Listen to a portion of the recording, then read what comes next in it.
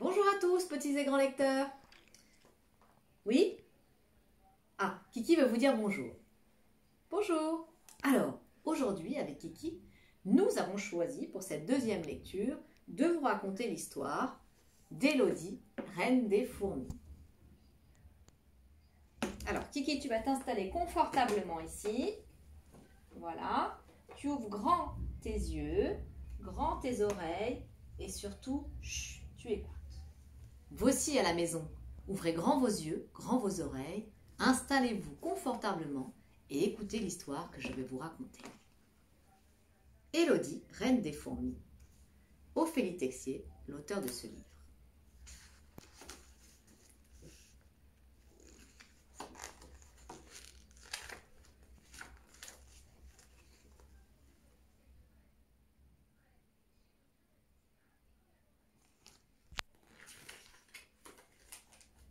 Élodie, reine des fourmis.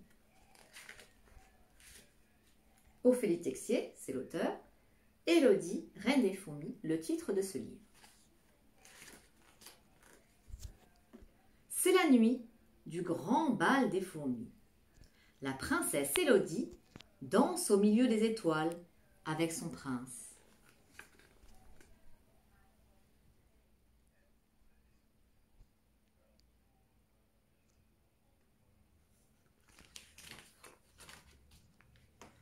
Après plusieurs danses, les deux amoureux décident de s'installer sur une fleur pour se raconter tous leurs secrets.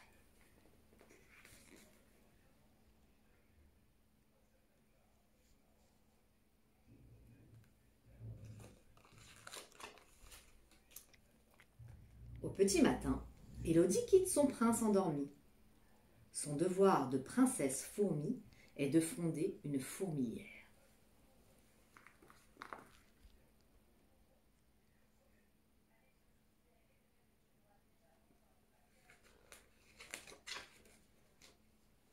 Élodie vole à la recherche d'un endroit où se mettre à l'abri.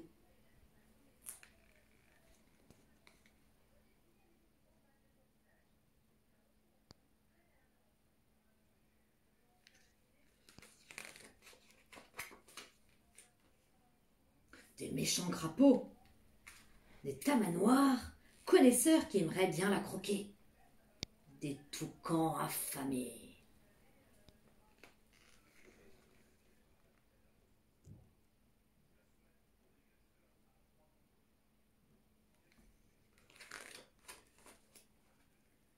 Ça y est, j'ai trouvé un petit trou pour me cacher, s'écrie Élodie.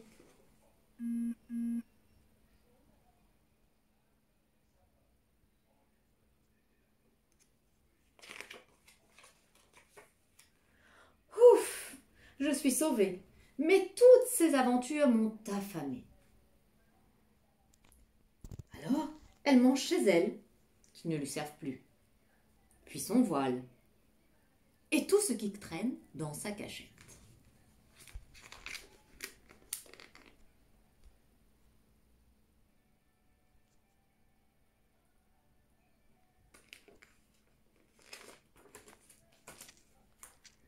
Enfin, rassasiée, Élodie commence à pondre. Elle pond des dizaines d'œufs. Puis, ses œufs éclosent. Et une première génération de fourmis apparaît. Un jour, l'une d'entre elles est assez forte pour sortir du trou.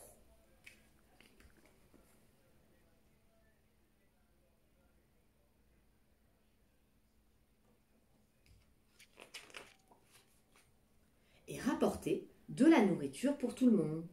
C'est comme ça chez les fourmis.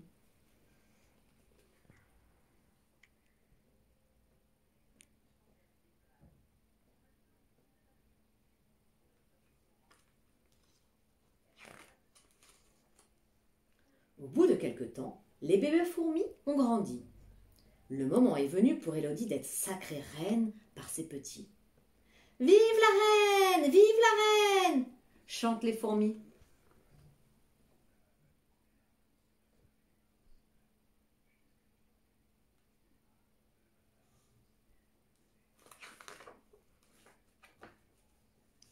Après la cérémonie, la reine dit Mes chers enfants, Je ne vous cache pas que la famille s'agrandit. Il va donc falloir envisager quelques travaux. Puis Élodie montre aux fourmis comment faire pour construire une belle fourmilière. Ici, l'entrée et la sortie. Ici se trouve la crèche. Ici se trouve la chambre de la reine, le garde-manger, le dortoir, la piscine, le musée, la bibliothèque, le cinéma, des ateliers, le resto-bar et le dortoir.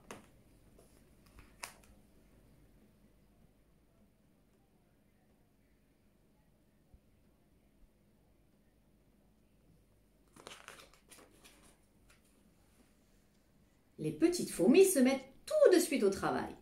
Chacune a un rôle bien précis. Certaines creusent, d'autres apportent du bois ou vont chercher de la nourriture?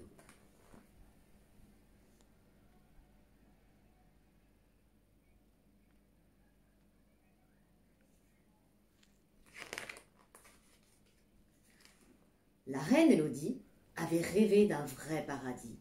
Elle voulait que chaque fourmi s'amuse et se passionne pour la vie, et ce fut très réussi.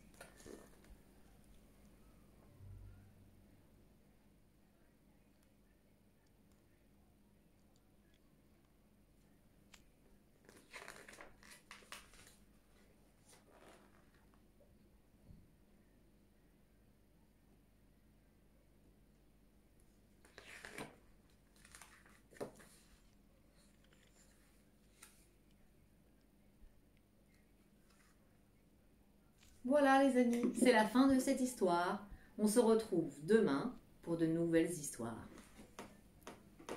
Kiki, tu leur dis au revoir? Au revoir les enfants et surtout, restez bien chez vous.